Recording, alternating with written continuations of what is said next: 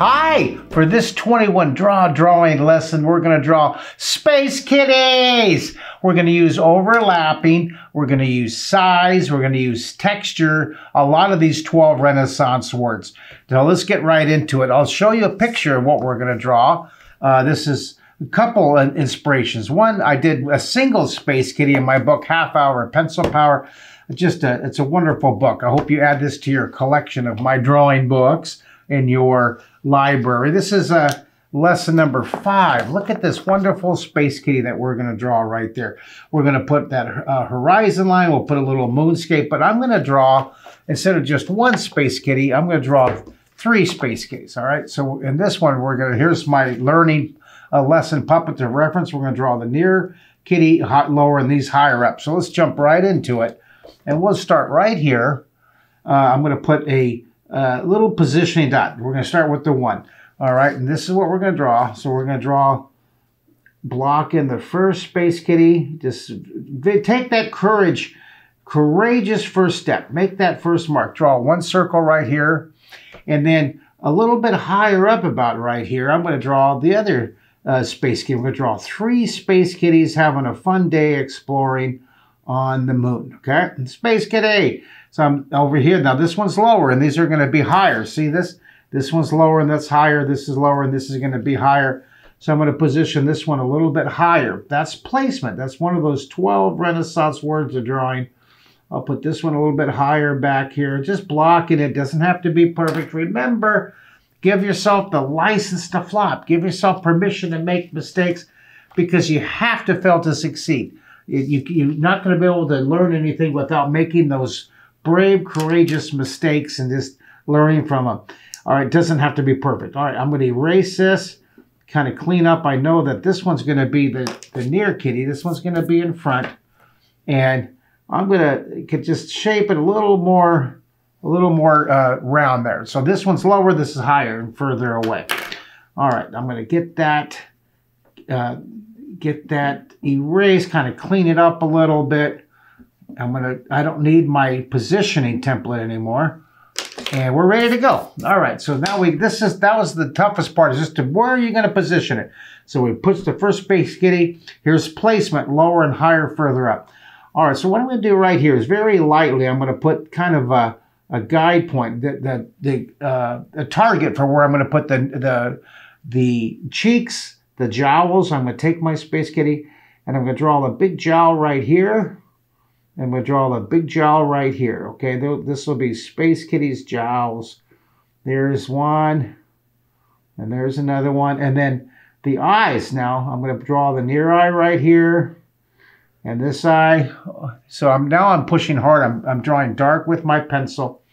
And then I'll take my pencil and I'll block in where the nose is going to be. See this? Take my pencil and I'll block it in. It's kind of this fun little diamond. All right.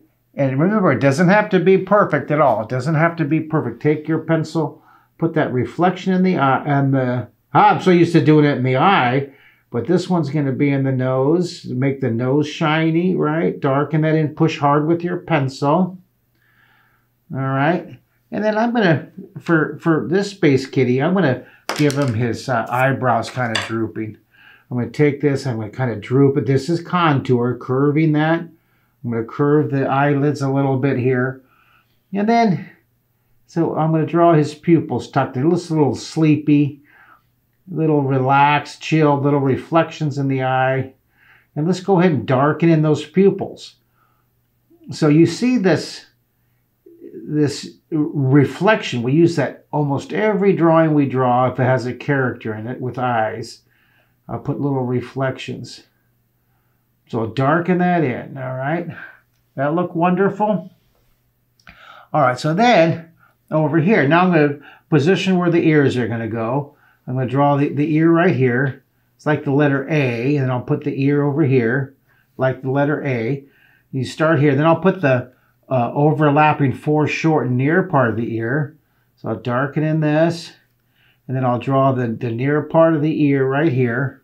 And then I'm going to start putting some texture. Now, I, I always seem to forget the whiskers when I'm drawing cats. So I'm going to go ahead and draw these, draw the whiskers here. I'll put some whiskers coming in off the cat here.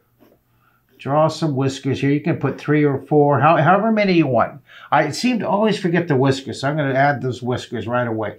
And then right here, I'm going to put the, the cat fur. Take your pencil, and I'm going to draw this cat fur. Isn't that fun? Draw the cat fur coming around here. Look at that. Isn't that cool? Texture, texture, just as just like when we were drawing the other lessons using texture, right? The textured owl with the feathers or the tree, the textured leaves, the, the textured uh, wood grain on, or the textured brick on the castle. That's looking cool, okay? Now you could, if you want, you could take this and you could draw space hamsters. In this book, you can draw in 30 seconds. Look what I did. On this one, if you look down at this illustration here on page 32, See what I did? It's same idea of drawing the three textured characters, but I made them into space hamsters, all right? So you could take this, stretch your imagination, stretch your ideas, take this as a foundation, and just add more layers and layers of fun, as long as you're having fun. Okay, this is the process, should be joyful and fun and creative. You're taking that creative risk. I'm proud of you. I'm proud of you. Here, let's clean that up a little bit. Now, before I put the space shield, I'm going to put this space kitty right back behind here. See that? I want to put these. This one's back further away. So I'm going to take this one and I'll, and I'll draw his jowls. I'll start with one jowl here and then take your pencil and I'm going to overlap. I'll put the other jowl back behind here. And then I'll draw his eyes. I'll draw the near eye. And this is this back is a little more foreshortened. See that? A little more foreshortened. That's squish and distort, right? And I'll draw the nose. All right, put that reflection.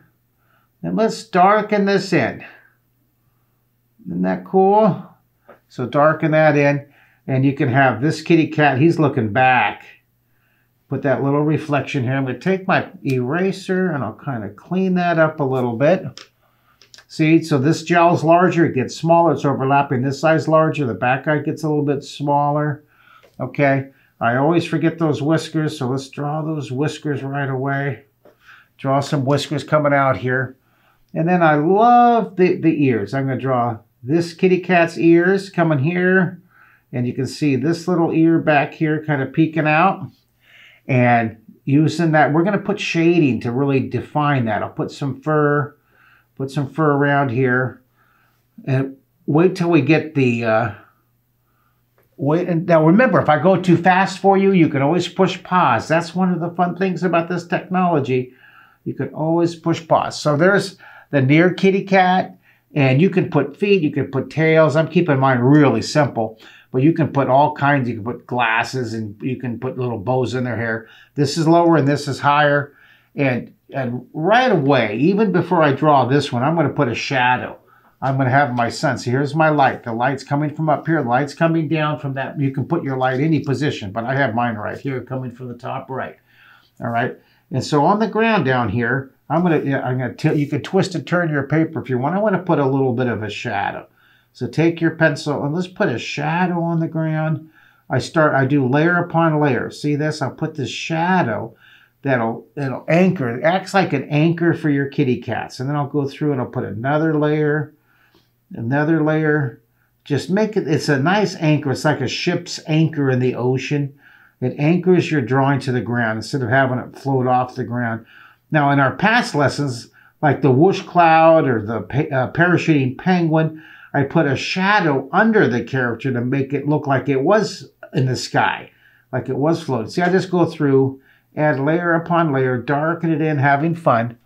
All right, I like how that shadow is really keeping those kitty cats on the ground. So we have the near one. It's larger. That's size. Remember the 12 words, size. Near things are larger, smaller.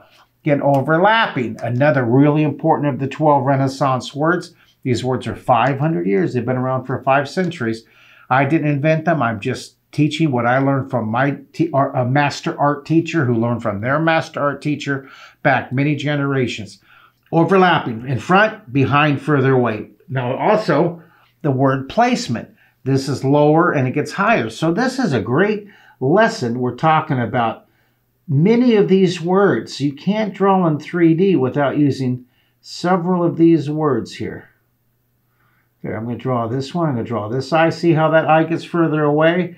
And I'm going to have this guy looking forward. See that? See, this guy's looking forward right here. I'll go ahead and I'll draw that nose, put that reflection. Look, I forgot to put the reflection in the eyes, but that's all right. It's uh, turning away from you, so that's size. Let's put those those whiskers. I love putting those whiskers right away so I won't forget. Let's go ahead and let's draw his uh, ears. I'm going to draw this ear here and this guy right here. There's that ear, then this ear is coming around here. Meow. Meow, meow, meow, meow, meow, meow, meow, meow. Meow. Do you ever make sound effects when you draw? I do that all the time. I drive my friends and my kids nuts. Meow, meow. Here, draw that little space kitty here. Put a few whiskers